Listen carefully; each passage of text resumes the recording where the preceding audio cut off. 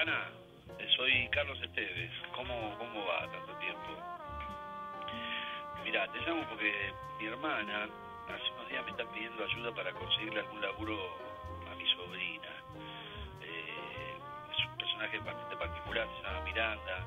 Le gusta dibujar, es una chica creativa. Yo creo que, no sé si será talentosa, pero por lo menos es habilidosa.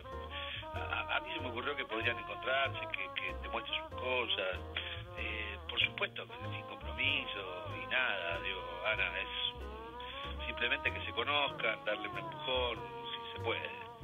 Eh, desde ya, muchas gracias. Te dejo un beso grande.